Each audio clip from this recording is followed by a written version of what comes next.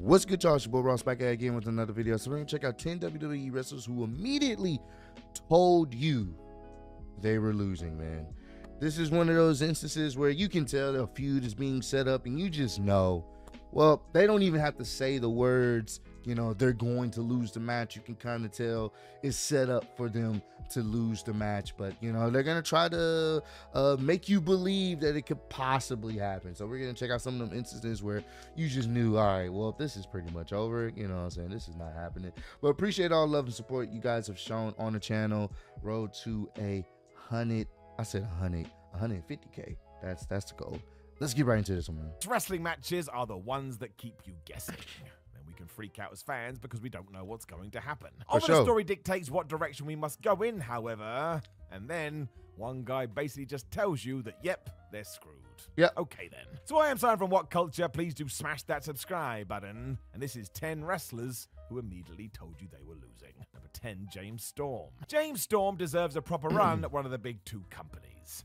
He's always smashed it no matter where he's been, but for one reason or another, aside from a brief run in NXT, it never happened. It should. What we're talking about today is when Storm was in TNA and Eric Bischoff was pulling the strings. As can be the way in business, those two didn't get on, leaving Bischoff to come out and say he thought James was unprofessional whenever he was told he was going to lose. Hmm. Because in a few interviews, Eric went as far to say you knew when the cowboy was going to be defeated because go and watch his entrance and go look at his face.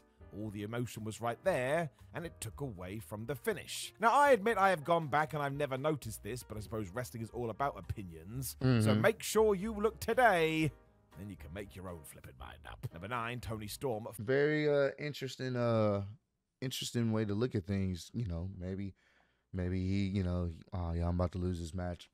No emotion come out to the ring. You kind of tell if you're really looking that hard, but hard enough to see it. So I don't know. That that can just be he uh, he say she say type situation there. Full Gear 2022. Full Gear had to be good for AEW. All Out had its issues that we know about, so what better way to move past it by getting back to what counts? The wrestling. The promotion definitely achieved this, and Jamie Hayter versus Toni Storm was a banger. Sorry, Taz. When people mm-hmm. started to say Storm looked like she was mad about this as soon as she walked down the rampway. Now, once again, I've looked at it and I don't see anything. Yeah. If anything, Toni just looks ready to destroy. But this is the power of hindsight. Sometimes it's legit, Sometimes we're seeing what we want to.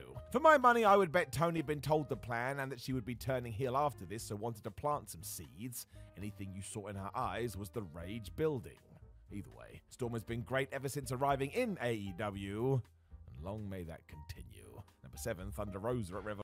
It's crazy that uh we're talking about this. There's been some definite issues with the the women in AEW right now. So uh I don't really have the full details on it, but I've been seeing some some rumblings on uh social medias of the potential issues, the backstage issues uh the women's division has been uh seeing in AEW. So it's interesting that some of these women are showing up, especially Thunder Rosa and how that played out in the end too. Revolution 2022. Eight months prior to this, we have a copy and paste situation.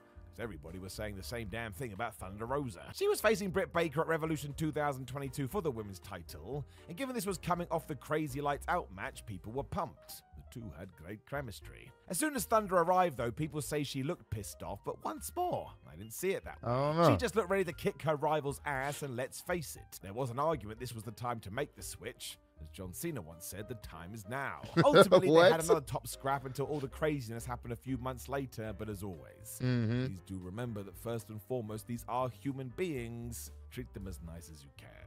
Seven, Kevin Owens at Fastlane Oh 2017. man. Now, I'm sure Kevin Owens was pretty pumped up to face Bill Goldberg. Say what you will, but imagine growing up on the Attitude Era and then facing one of the most popular guys from that period. Yeah. It Must be surreal. Oh, the only issue brother. at Fastlane 2017 was that Owens was the Raw World Champion and had barely got going. He was also ready for an excellent feud with Chris Jericho Yeah. over the title. When Bill crushed him at the pay per view, well, it felt a little short sighted. The upcoming Goldberg and Brock Lesnar program also didn't need gold on the line, and there was a slight inkling that maybe, just maybe, Kevin was a little bummed about it. You would be, however, especially because KO hasn't been the champion since. We do need Yeah, I once again kind of to his point, their match didn't need a title. It did not. I would have preferred a Jericho a Y2J feud um for the title at Mania than the match that we got. That's just my personal opinion. I would have preferred that, but you know, you know how that goes. need to change that as well, please, because it has been years, literally. So all I'm going to ask you today, WWE, is to make him the man again. Thank you very much. Number six, Jake Roberts at WrestleMania 8. A year prior to this, The Undertaker destroyed Jimmy Snuka to start his undefeated streak. mm-hmm. He knew this was an undefeated streak at the time because it wasn't part of the plan, but still, we got to WrestleMania 8, we did it again. This time, Jake Roberts was the victim, which made a lot of sense because he was very much a WWF veteran, and everybody liked this apart from Jake. Bringing it Oh. up backstage and looking frustrated as he came to the ring, Roberts even glared into the camera at one point and basically acknowledged that this wasn't going to go his way. Not sure he cared that much about breaking the fourth wall. Behind the scenes, Jake was also telling Vince McMahon he was so angry that he wasn't going to show up to future events, and because of that, he got released. Whoa. The Man was not pleased, and we wouldn't see him again for four years in a World Wrestling Federation ring. Whoops. But five, Dean. Damn, bro. He didn't want to do the job for the Undertaker. Damn. He said, "Man, this sucks. I ain't coming back." Vince was like, "All right, well, bye, nigga." Damn. WrestleMania 32. Well, we know this one is true. Mhm. Ambrose has talked about it. Yeah. But now Jon Moxley has said that he wasn't all that enthused with his Brock Lesnar match because the Beast didn't really put a lot of effort into their no hold barred scrap. This should have been fact, he so much like He better. was ready to have his ass kicked. Brock wouldn't even do that. You can see Ambrose's Yeah, no, and that's the crazy thing.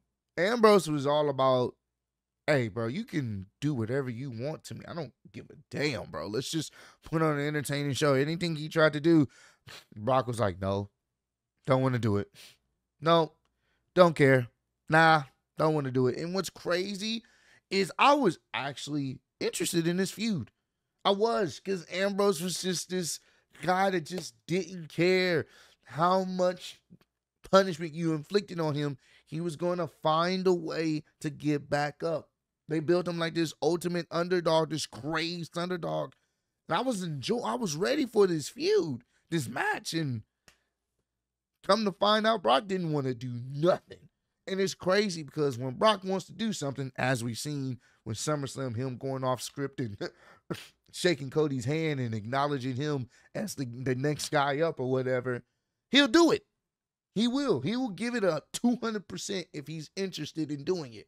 This, he was not interested in doing anything Dean Ambrose had to come up with. frustrations here even more so when you know the story. Yeah. And yeah, while on paper this was highly anticipated, it was a bit of a letdown on the night because nothing happened. Nothing. Lesnar just beat him a little bit and we were done. It was worse as Brock was going to win, even though he was headed back to the UFC, leaving Dean to kind of tread water for a while. No wonder at the end of his WWE deal he was so annoyed. I don't think they really knew what they had. Yeah. John Cena at WrestleMania 27.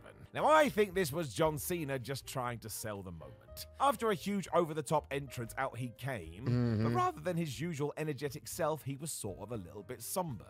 More serious, maybe. It was interesting.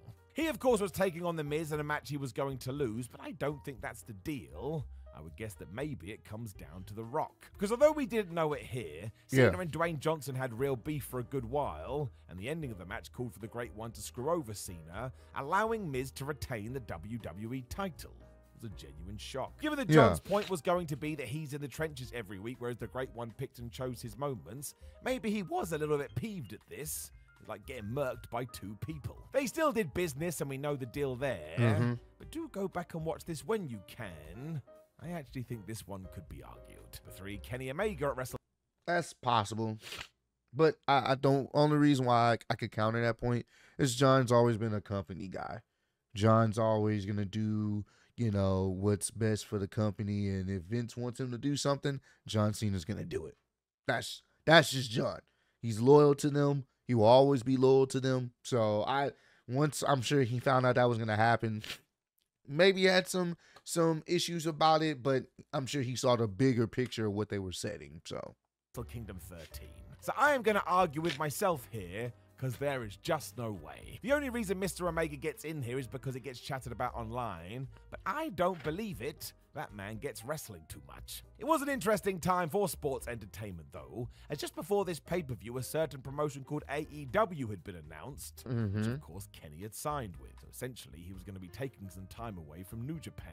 The twist was Omega being the IWGP heavyweight That outfit is so we had to wild, bro. that out, which surely meant he had to drop the belt to Tanahashi at the pay per view. Did he? We didn't know. The answer was yes, which led some people to say Omega looked rattled during his entrance, or because this was a last minute decision, conversations were being had right up to the bell ringing. Even if that was the case, though, I still think Kenny would do the best he could, Yeah. and any interesting facials were likely intentional. That way you get the world talking. He also did mouth one last time into the camera. So seriously, man, I think he knew what he was doing, because he always does.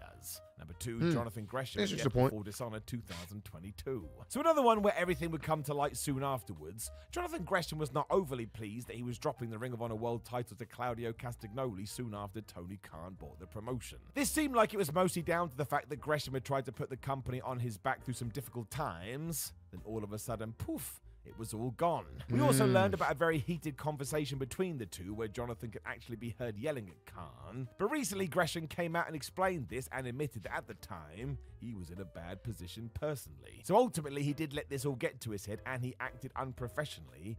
But the best part Oh. is, Gresham and Tony Khan are now the best of friends once more. and we Don't have to worry about it. Still, Are by they the time really, he though? walked out to face Claudio and didn't even have his usual ring entrance attire on, you kind of get the feeling he just wanted to get this done and get the hell out of Dodge. Yeah. One Ric Flair, anytime he wore red. this is somewhat of an we just talked about this too. Charlotte Flair had on a, a whole red outfit, and guess what?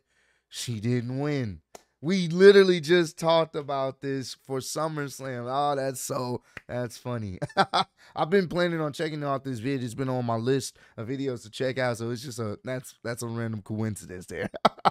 open secret and nobody has disproved it as of yet. Because if Ric Flair was going to lose an important match, he would don red wrestling gear. I mean, every damn time. This was true at WrestleMania 8 when he lost to the Macho Man Randy Savage, when he tasted defeat courtesy of Ricky Steamboat at the Chi Town Rumble in 1999, and when he got pinned at Mania 19 against The Undertaker. That's if anybody had crazy. caught on to this back in the day, it must have totally ruined the outcome, although there were exceptions. When he retired for the first time as he battled Shawn Michaels at Mania 24, he was actually wearing blue. Blue. Next time you're bored, though, definitely go and do the maths, because I tell you, you'll be surprised how many times this comes through. The hell was the Nature Boy thinking? Of any other wrestlers That's who crazy, told you they were losing? Please do let us know. That is funny. Y'all literally talked about this on the SummerSlam stream. Every time uh, Ric wore red, he lost. Charlotte wore red, she lost. she didn't win the triple threat. Ah, that's that's crazy. I don't know, man. What Oh, I don't know. That's that's a very interesting one, man. But comment down below. Let me know some other instances where you knew, you just knew the wrestler was losing. Just just off of the entrance alone or how things were built, you just already knew, yep, this person is about to lose. They're not about to win. But appreciate all love and support. Road to 150k, and I'm still your undisputed YouTube wrestling champ of the world. Appreciate y'all kicking me. See y'all next one. Peace.